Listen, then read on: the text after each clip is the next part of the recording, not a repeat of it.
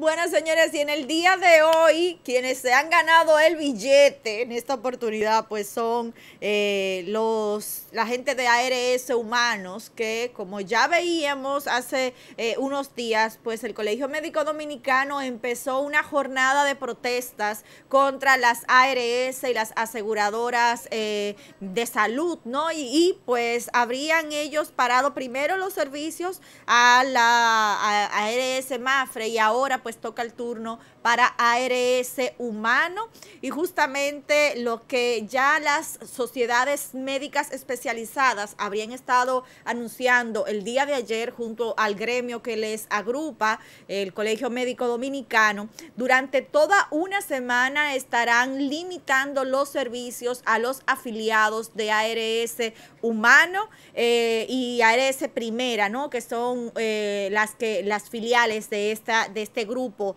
de servicios de salud. Los gremios habrían tomado la decisión luego de que se reunieran con el ministro de Trabajo y no, bueno, pues no lograran llegar a un acuerdo favorable para los médicos en relación a los tarifarios, a las glosas, a, las códigos, a los códigos e indicaciones médicas y que eh, estarían viendo ya, poniendo en marcha este nuevo paro a partir de este próximo lunes 24 de mayo. Fíjate, Ana, eh, ya de este tema hemos conversado mucho y en definitiva eh, la salud en República Dominicana es una de las actividades más endebles.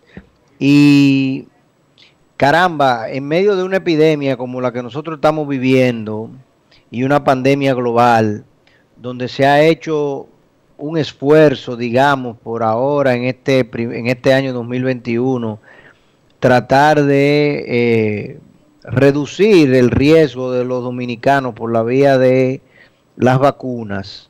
Son tantas las inconsistencias y tantas las incongruencias y uno no termina de entenderlas. Ahora tenemos al Colegio Médico Dominicano. Yo no quiero, como digo, matarte una noticia y, y, mezclarla y entremezclarla, porque lamentablemente lo que te voy a decir pues usurpa el espacio de otro anuncio que tenemos que conversar de él. Y es por el motivo de que fíjate que en esa reunión que se tuvo del Colegio Médico Dominicano con los representantes de las ARS y eh, estuvo presente el Ministerio de Trabajo. Y no se llegó a ningún acuerdo. De hecho, el Colegio Médico Dominicano dice, nos llamaron a reunirnos para decirnos que qué bonitos ojos tiene, qué bien te queda esa corbata, pero no hay nada que cambiar. O sea, la realidad es que ustedes van a seguir con su tarifario de hace 14 años. De hace 14 años, cuando a mí me salió del forro decir que una cirugía o una consulta yo te iba a pagar 200 pesos y tú tuviste que aceptarlo hace 14 años y ahora tienes que también aceptarlo de nuevo y ya, y no te quejes, porque ¿por qué tú te quejas? Tú debes de sentirte halagado y, bendecido de que yo, ARS, tengo todas las condiciones para garantizarte y para decirte a ti qué tú vas a ganar, cuándo lo vas a ganar y cuándo yo te voy a pagar. Eh, entonces, eso uno dice, caramba, pero entonces, ¿cuál fue el consenso al que se llegó con la intervención del Ministerio de Trabajo? ¿De qué sirvió la intervención del Ministerio de Trabajo? ¿Qué tanto, eh, eh, qué tanta concertación logra el público, el, sector público para garantizar que gremios y que empresas privadas como son las ARS se pongan de acuerdo? En definitiva, aparentemente ninguna. ¿Verdad? Y te lo voy a dejar ahí por ahora, para que entonces en la noticia próxima hablemos un poquito más sobre esa parte. Pero en definitiva, lo, lo anunciamos la semana pasada cuando dijimos, o la antepasada, cuando se anunció lo de ARS Palic, ¿verdad? Ah, Porque ARS Palic ellos están en huelga esta semana o la, o la pasada, pues ya, ya, ya, se me solapan. Ya la pasada. La pasada fue la semana de, huelga de ARS Palic, ¿verdad? que hoy me hay Mafre, Mafre, es lo mismo. Palic ahora es Mafre, ok. Eh, lo dijimos anterior a esa eh, huelga, con esa sola ARS, que dudábamos mucho de que eso se fuese a quedar en esa sola. Primero, porque ella no es la más grande del mercado. Segundo, porque el tarifario de ella viene influenciado por las otras, porque ese es un mercado eh, eminentemente oligopólico. ¿Y qué significa un mercado oligopólico? Bueno, un mercado oligopólico es un mercado en el que existen pocos competidores.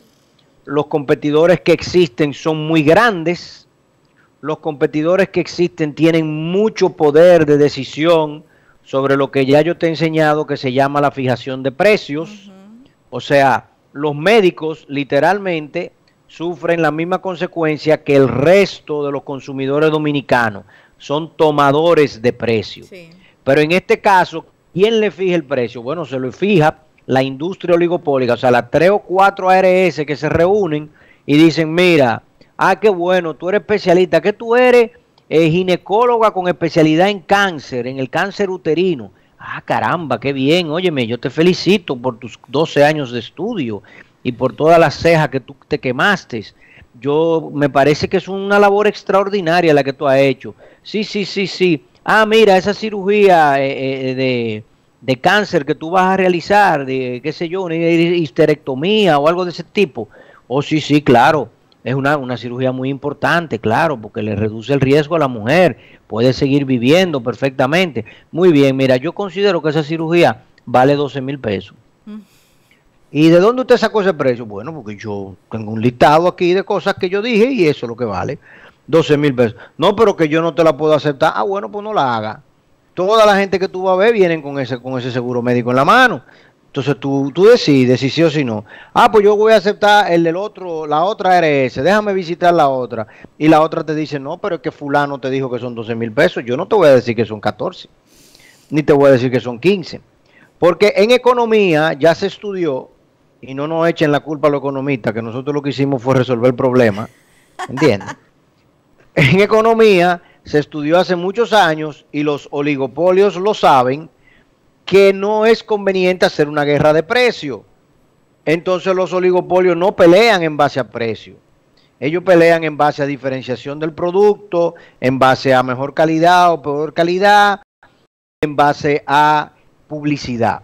Pero ellos no pelean en base al precio. El precio lo ponen estándar para todo el mundo. Por eso cuando tú vas a la esquina y quieres comprar un periódico, no importa cuál periódico tú quieras comprar, el periódico cuesta lo mismo porque ellos no van a pelear el precio, ellos van a pelear en base a otra cosa. Porque cuando los oligopolios pelean precio, entonces pierden todos. Lo mismo pasa con, por ejemplo, si tú quieres comprar una funda de cemento, la funda de cemento tiene un precio. Y la debilidad del Estado Dominicano es tan grande y tan grave que, por ejemplo, en ese caso del cemento, permitieron que ya haya, que exista una asociación de productores de cemento que no es más que, que, coger los cuatro productores de cemento de República Dominicana y hacerlo juntos un solo, una sola entidad, un monopolio. Perfecto.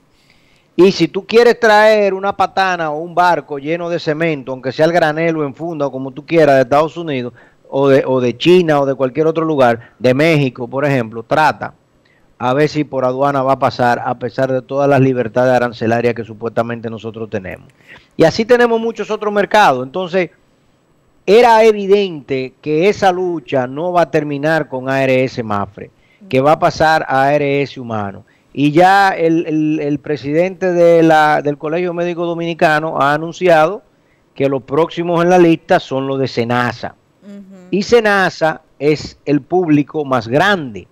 Y Senasa es el que afecta a los más pobres, porque todo el que tiene el sistema, el, el programa de seguro con una póliza contributiva, donde, donde básicamente eh, el, Estado es el que te está solventando, el subsidiado, eh, toda esa gente va a protestar. Y cuando sea Senasa que se bloquee y a ti no te atiendan, y los hospitales que ya están llenos, que no le cabe un mandado, se rebosen todavía más, imagínate lo que va a suceder. Y el colegio médico lo sabe, el colegio médico sabe a dónde va a llegar con esto.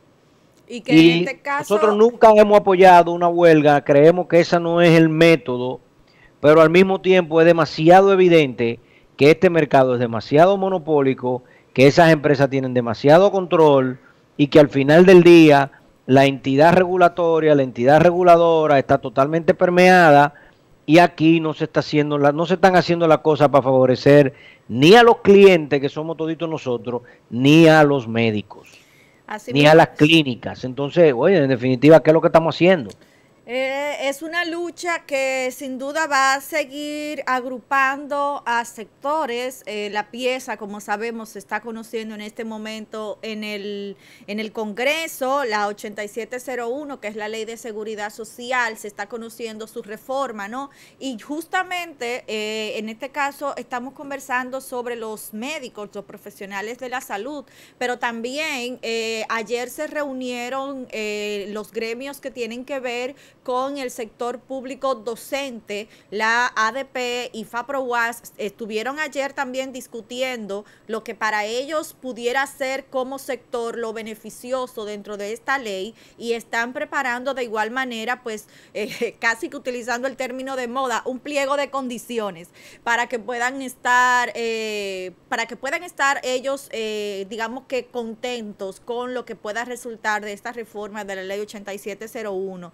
La eh, presidenta de la ADP, la señora Guanta, habría dicho ayer que las organizaciones que se reunieron, pues lo que buscan es consensuar esta propuesta, o sea que también este otro sector gremialista pues estaría empujando eh, de manera unificada para que dicha ley pues pueda ser reformada lo más democrática o equitativa posible. Bueno, eh, ay Dios mío.